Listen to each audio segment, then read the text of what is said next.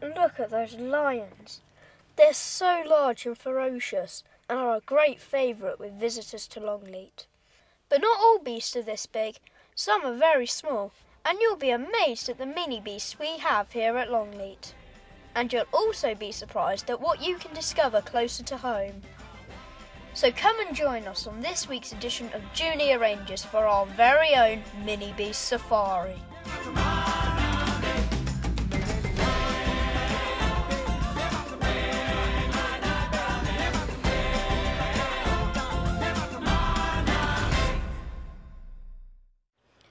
The safari park, you can see Longleat's big beasts, but down in Pet's Corner, you can see the mini beasts, and you'll be able to see some close up when you come to visit. But today we're going to be seeing them really close up. But we're going to have to get quite small for this. Hold on, Annie. I'll shrink us down to mini beast size.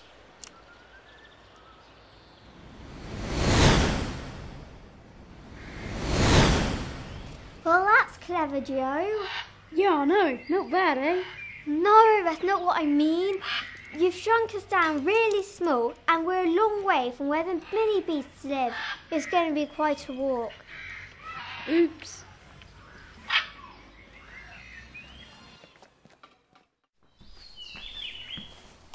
Well, Annie, we seem to be in the right place now, so keep a good lookout. Doesn't seem to be any mini beasts here. There's got to be some mini beasts around here somewhere. Look there, under the log. What are they? They're death's head cockroaches, and they come from Central America. That sounds scary. It's okay. They just got the name because of the markings on their back look like a skull. Why are they hiding? Well, it keeps them safe from predators, and when they're hungry, they'll come out looking for food. It looks like they have wings. Can they fly? No, they can't fly, but they can jump and glide. They tend to spend most of their time rummaging around on the ground in the leaf litter looking for rotting fruit, which is their favourite thing to eat. Okay, let's see what else we can find. I think something's found us. Let's take a closer look. It's the giant African millipede. If we're quiet, they won't know we're here.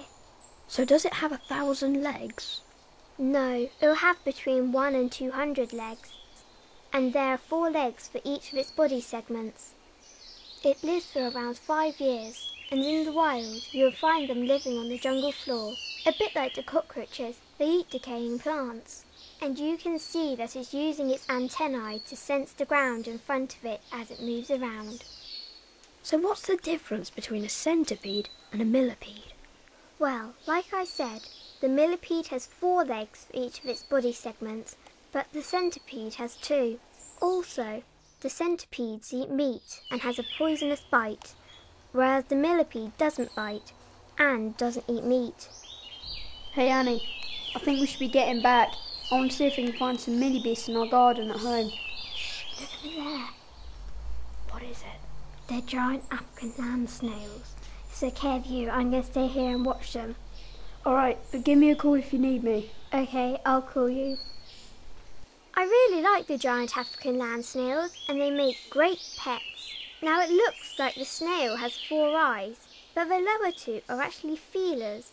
And even while this one is munching away on the cucumber, is keeping an eye on me.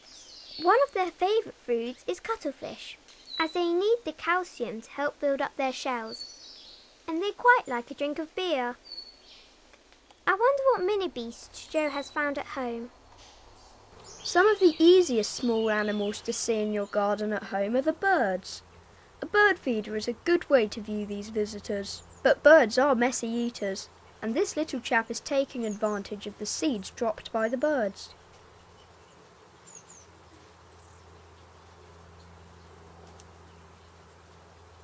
And up in the greenhouse, we can find some real mini beasts. There's a family of baby spiders that are learning how to make webs. To find some really small mini beasts, I've brought in an old log from the garden. And I'm using this video microscope to get a close-up view. You may have one of these at school. Let's see what we can find. Oh, look, it's an earwig. It's got big pincers on its tail, but they can't really hurt you. And an earwig is happiest when it's sleeping under an old damp log during the day and eating plants and other insects at night. What else can we find? Hey, here's a woodlouse. Did you know woodlice are related to crabs and lobsters and can breathe through holes in their back legs? And this little bug is so small I can hardly see it with my eyes. I didn't know there could be so much wildlife on an old log. I wonder how Annie's getting on with the snails.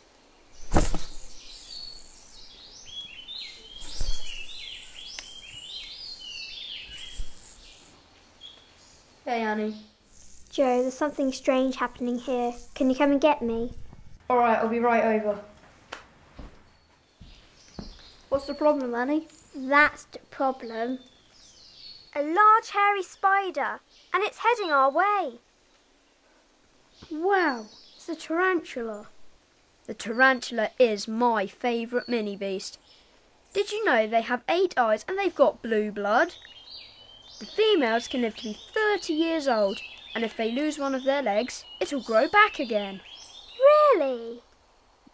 Yes, and as you can see, its body is covered in hair, and at the back it has some very special stinging hairs that it can flick at predators.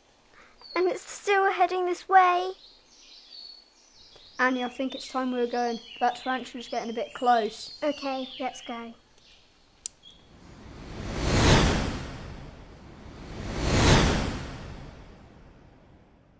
Wow, that was fun. The mini beasts here at Longleat are fantastic. But don't forget, you can still find interesting mini beasts closer to home. Joe, we have a bit of a problem.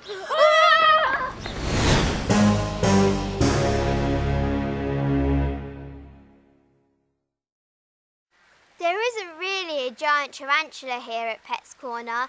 It's just a bit of TV magic. Although it looks like the giant tarantula is really there, it's just an ordinary sized tarantula filmed against a green screen. And when we are stood on the log talking about the cockroaches, we were really in a TV studio. Look there, under the log. And here's our star, Red. And you can meet him and lots of other interesting animals at Pet's Corner here at Longleat. That's all for this week. But come and join us again in two weeks' time when Annie's a guiding star.